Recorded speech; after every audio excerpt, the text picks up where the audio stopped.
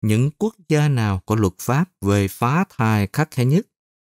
Đoạn tối cao Hoa Kỳ có vẻ sẽ bỏ phiếu để lật ngược quyết định hợp pháp hóa phá thai trên toàn quốc theo những thông tin bị rò rỉ.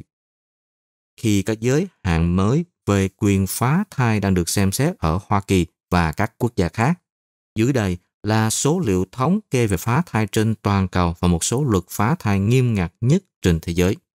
Thông tin này dựa trên dữ liệu của Tổ chức Y tế Thế giới, Liên Hợp Quốc cũng như từ nhóm nghiên cứu của Viện Guttmacher và nhóm vận động hợp pháp của Trung tâm quyền sinh sản, cả hai đều ủng hộ quyền phá thai.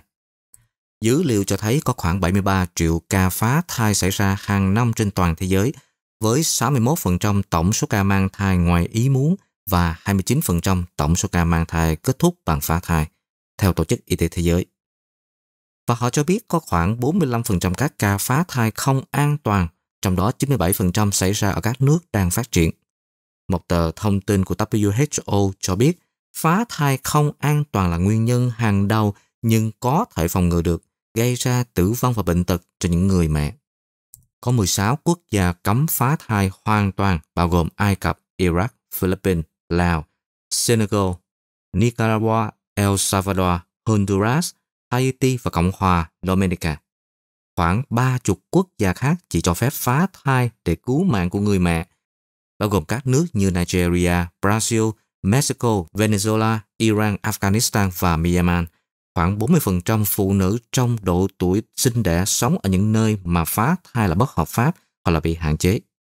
Tại Hoa Kỳ, một loạt các hạn chế do đảng Cộng hòa hậu thuẫn đã được thông qua ở cấp tiểu bang với việc Tòa án tối cao Hoa Kỳ chuẩn bị bỏ phiếu để lật ngược tiền lệ năm 1973 đã hợp pháp hóa phá thai. Ba Lan vào tháng 1 năm 2021 đưa ra một quyết định của tòa án hiến pháp cấm phá thai do dị tật thai nhi. El Salvador có một số luật phá thai nghiêm ngặt nhất thế giới và thủ tục này bị cấm không có ngoại lệ kể từ năm 1998 hơn 180 phụ nữ trải qua các ca cấp cứu sản khoa đã bị truy tố vì phá thai hoặc là giết người trầm trọng trong hơn 20 năm qua. Phụ nữ ở Manta bị từ chối tiếp cận phá thai ngay cả khi tính mạng của họ gặp rủi ro. Đây là quốc gia thành viên EU duy nhất cấm hoàn toàn thủ tục này. Phụ nữ phải đối mặt với án tù 3 năm. Senegal cấm phá thai, nhưng quy tắc y đức của nước này sẽ cho phép phá thai nếu mà các bác sĩ đồng ý rằng Điều đó cần thiết để cứu sống một phụ nữ. Ở các tiểu vương quốc Ả Rập Thống Nhất, phá thai là bất hợp pháp trừ trường hợp việc mang thai gây nguy hiểm đến tính mạng của người phụ nữ hoặc là có bằng chứng là em bé sẽ không thể sống sót. Phụ nữ có thể phải đối mặt với một năm tù giam và một khoản tiền phạt nặng.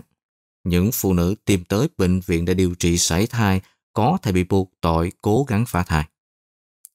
Luật chống thai ở Philippines bắt đầu từ thời còn là thuộc địa của Tây Ban Nha phá thai đã bị cấm trong hơn một thế kỷ. Khoảng 1.000 phụ nữ ở Philippines chết mỗi năm vì các biến chứng.